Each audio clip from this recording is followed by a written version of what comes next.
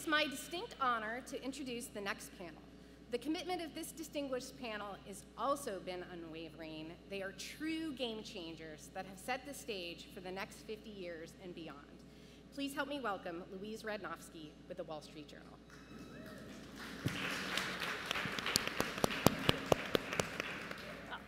This is a really great panel for me to be able to interview. Um, hopefully I can ask some of the questions that you guys might have as well, um, but a really great opportunity to talk a little bit about how we got to where we are with Title IX and what the next 50 years will look like. So I'm, I'm excited. I wanted to uh, start by asking Karissa and Sheila and Ariel a little bit about um, when they first encountered Title IX. This is the bit where we look backwards right before we look forwards. And um, think I'm going to do this in chronological order. Sheila, can you tell me when you first encountered Title IX?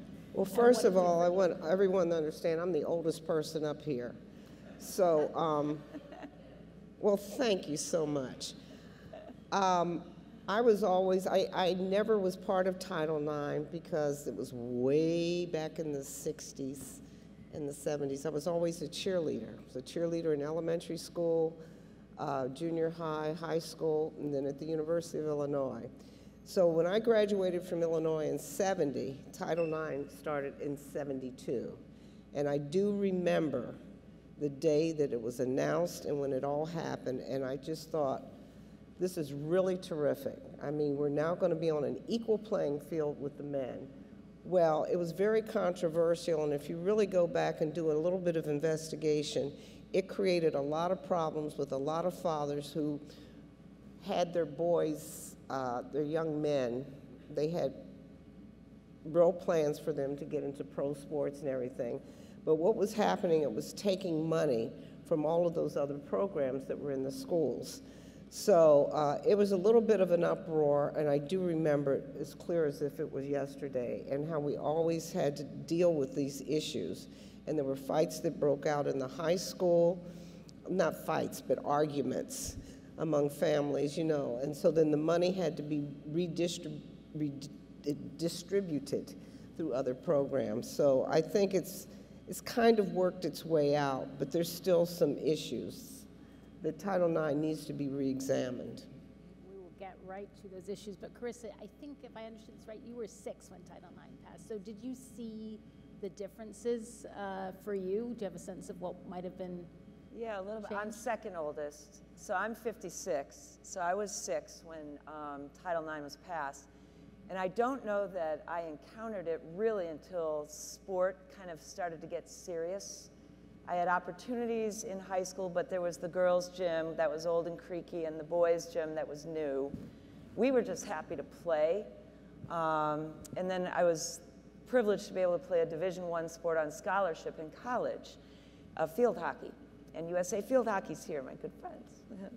um, but, but we had four women that had scholarship opportunities where the football team at this university that did not do as well as the field hockey team um, had 70 and they had a different travel schedule and they're on airplanes and they had dining hours and then i started to realize even though we were just so privileged and excited to play that something wasn't fair. And you, I was becoming an adult, going into education. I thought, I need to pay attention to this and use what I'm experiencing and seeing and the people who are my mentors and role models. I needed to learn from them and then say, now what do I do with that torch? Um, so the years have gone fast, but I agree, there's more to be done. Mm -hmm. And Ariel, everything was solved by the time that you started in school, right?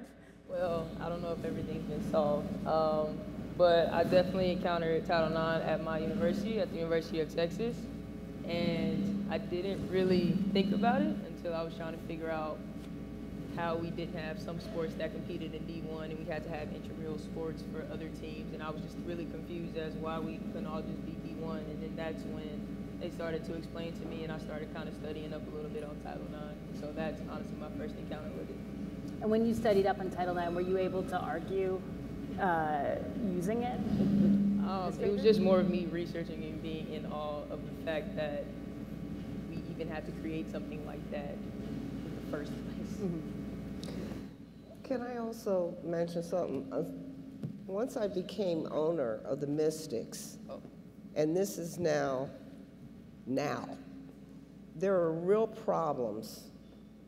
The, the facilities were so unequal. When I picked up the Mystics, and I remember the day that they were doing the transfer over, and I became part of Monumental Sports, I said, Well, where are the Mystics' locker rooms? They had no locker room. You didn't know that, did you? I did not. You did not know that. So I was given a storage facility, and with my own money, was able to, to create a real locker room for the Mystics, which is now George, Georgetown uses it. Okay. So fast forward, we now have an event center, but just even taking over the team, and even with the WNBA, there's still unequal facilities that are still going on, and still an ongoing problem. And um, I hope I don't get my head handed to me for saying that. But we have got to keep working on this. Just because Title IX is here, there's still a lot of unequal areas that we have got to continue to work on. And we've got to be very cognizant of that. I mean, don't think it's over. And, you know, I'm, I'm so proud of my team because we've been able to put the foundation in there and they can stand on the shoulders of the people that started Title IX and have the foundation of Title IX, but they have not, they cannot become complacent because we still have a long way to go.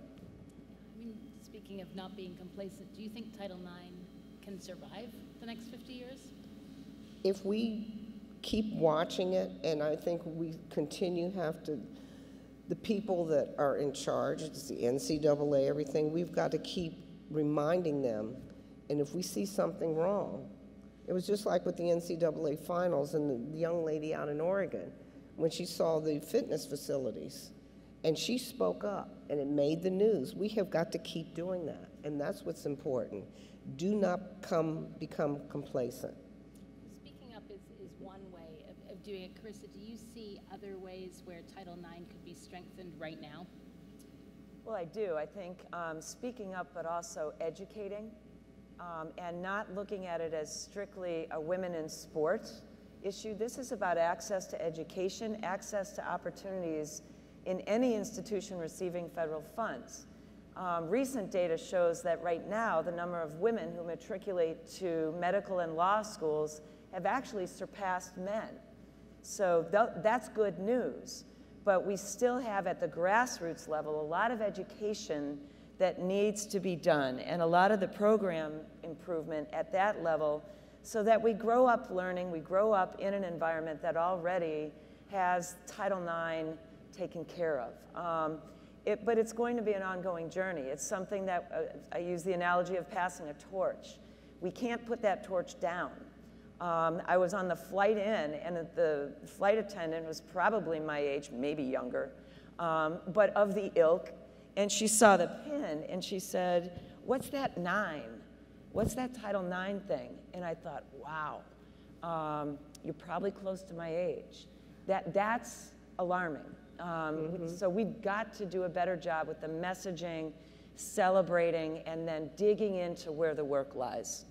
Ariel, do you feel like you're teammates or your rivals think a lot about Title IX now? Obviously, you're, you're in a professional sports environment, you're not in education anymore, but you all came up through a system that was shaped by it. Yeah, definitely. Um, I mean, we watched the Spirit play here the other day, and the NWSL is a big part of it, and I think the WNBA too.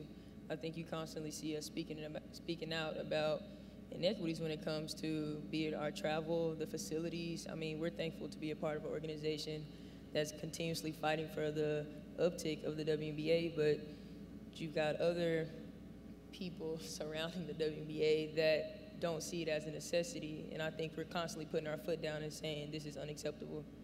And how did you end up in basketball? Was that a sport that you just loved and were drawn to? Was that the sport that was available? Well, um, it was the sport that I was best at, for one. Um, I tried a lot of different things, and basketball stuck with it. Um, but it's obviously it's one of the most accessible sports. All you need is a ball, um, and I think that's one of the things when we talk about underprivileged youth and we talk about youth sports. we need to talk about how to make other sports accessible. You talk about golf, lacrosse, all these sports that need very specific equipment. I never thought about playing any of those sports. So it's really just a matter of what was accessible and what I was good at. So. I'm, I'm really interested in the opportunities that are currently available and the way that Title IX operates, particularly in high schools, Chris. You, you know, that girls and boys play separately, that that is how we're, we're approaching this idea of equal access. And in some places, they play different sports as well. Um, do you think this works? Do you think there are opportunities for this to change? Do you think this, this could change in time and tackle football, America's sport, could be something that girls are playing? So that's an interesting question about boys and girls separately. Sport is defined by nature, by gender. And, you know, in the first part of the panel, there was conversation around the Department of Education, OCR, language around um, discrimination, around gender identity. And we're certainly facing this um, in every state across the country. Our 51 associations, which are the 50 states, and Washington, D.C., which has their own association, all really being challenged by how to respond to transgender or non binary participation. So, do I see the future based on gender as mattering? Absolutely, because there's science around biological development. However, when we talk about access to opportunities and we talk about gender participation and, and inclusion, one of the things we like to say is let's talk about the age that we're talking about. If we are a youth based organization, a scholastic based organization, then let's talk about 14 year olds. If we are an elite professional organization, let's talk about 24 year olds. They're not the same. And then let's talk about the purpose of our activities and why we want these activities to be available for kids. All kids access to something. Um, let's talk about the broader picture of some of the other data that we're aware of about the growing up experience and the challenges that our, min our minority um, populations face. So it's complicated to say boys are in boys sports, girls are in girls sports, and it's based on gender at birth. And wait a minute, and let's talk about age and stage. Um, I know working with a number of national governing bodies, I sit on three of their boards of directors football, basketball, and field hockey. And one of the things that they're challenged with is defining elite talent because we have U16s and U18s and these folks representing our country. Yet we also have one state where a 16 year old cannot play because they're transgender and one that they can. So, what happens when you cross a state line? You represent your nation but you can't represent your high school. So it's really complicated. We are seeing, hopefully, a regrowth in intramural opportunities.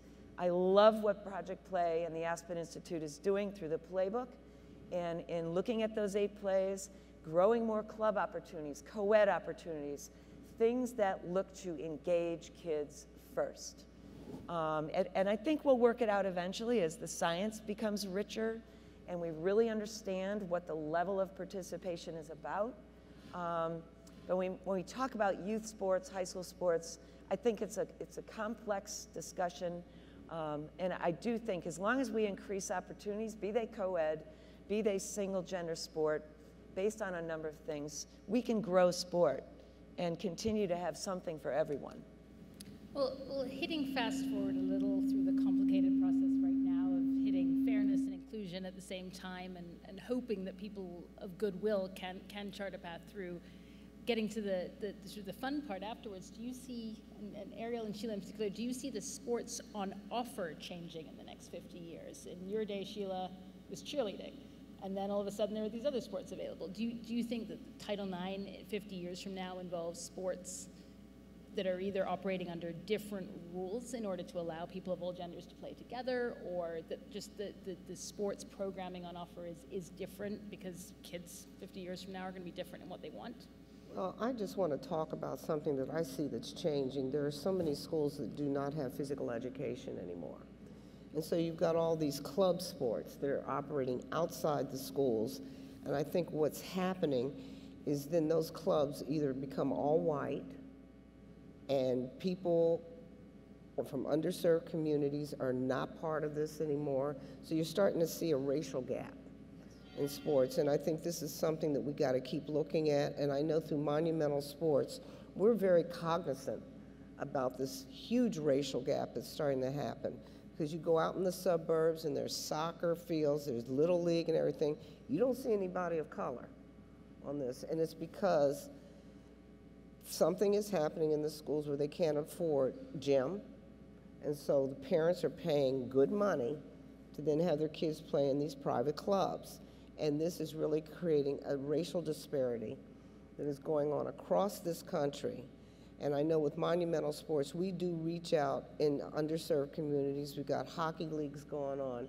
We do youth basketball, AAU, and everything. But you're starting to see a lot of that. And we need to pay attention to this because I'm very concerned about it as a sports team owner. Do you think there's a regulatory fix in additional, in addition to private business? Is there, is there a way that the government can get involved in this? Yeah, they need to put more money back into the school system so that they can bring physical education back in there.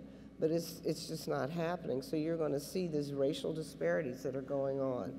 I was asking Ariel uh, earlier, did she run into that in Texas? And she said no. Right? No, go ahead. Yeah, we had. I've never even. I mean, we were talking about it up there. I never even thought about physical education not being in schools, and so I asked her. I was like, "So they just go to class all day?" and she's like, "Well, Most yeah." of the, most of them did. When I was growing up, we had physical education every single day in the school, but it has really disappeared, especially in the urban school setting. What was the physical, what was the physical education like at, at, at the time at, at an elementary school level? Was it what you consider to be high quality or entertaining? Uh, It or was high quality. I went to a large school system just outside of Chicago. So we ran track and we had swimming classes and we did a whole lot of things. But then I've gone back to visit it and it's gone. And it's all because of money. So this is a, this is an access to sports for, for everybody or for, for children of color in particular? Yes, but- and I, but- I think we need to re-examine that and see how we can get physical education back into the school system, especially public school system. Private schools will always have it, but I think in, you know, public schools, you've got to get it back in there.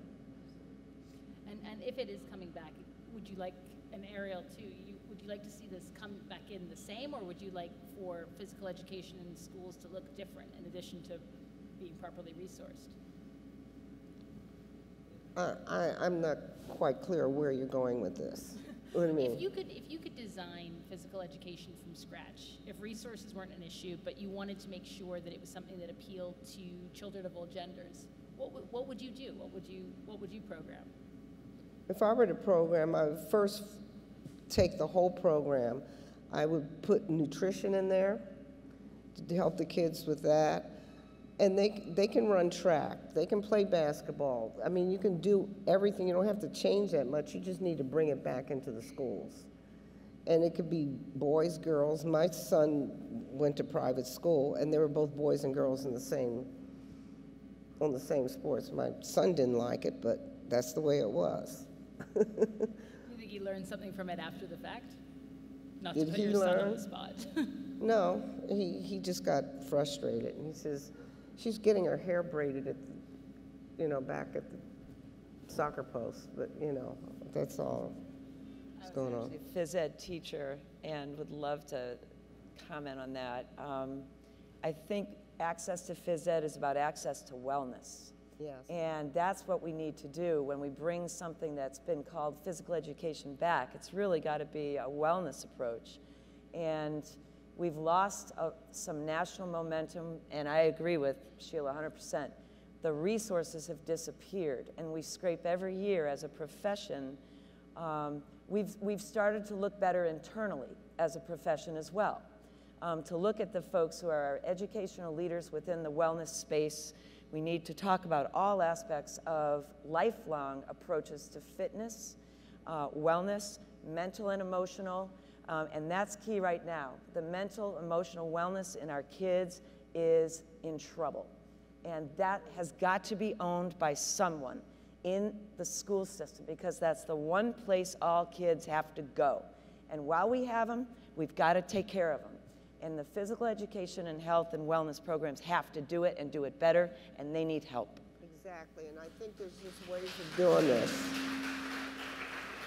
There's nothing wrong with starting the school day. It could be yoga, it could be uh, just sitting there and meditating, but this is something that um, I've been talking with Dan Porterfield and the board. It, we, I'm hoping that the Aspen Institute really takes this whole health and mental health wellness program. We really want to study this and bring it to the forefront because this is where we're really falling apart.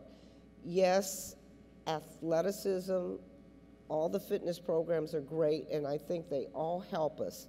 When you take sports out of the school system, this you're going to see a cognitive and mental decline, and it's happening across the board. These kids need an outlet. They need somewhere where they can do mind, body, spirit, work it out on a soccer field, on a basketball court. You take it away, what else are they going to do? They're going to run the streets. They're going to get in trouble. We are underestimating the importance of sports. You know, and Title IX needs to play a stronger role in this. Yes, we're, talking about Title, Title IX. It's more than that. We, we've got some other issues that we have got to address. Title IX can take this on, and we can broaden what does Title IX do? Where are we going to go with this? How can we really talk on these issues of mental health? So let's just not box Title IX, say it's just Title IX. It's more than that. Well, I'll let Ariel have the, the last word on that. Do you think that if Title IX were, were different, then, uh, then the WNBA would be different? Do you think that a, a stronger Title IX would make professional sports for women stronger? Yes. I mean, in the short answer, I mean, they said everything that honestly needed to be said. Um, but like I said earlier, you hear us talking about the inequities that we have to deal with. One of the main things is surrounding travel, um, just because of how our seasons uh, season is. Um, so, in, in a short answer, yes. Yeah, it's educating. I mean, the WNBA is so important, but they always, at the end of an NBA season, you know, we're fighting to get more media recognition.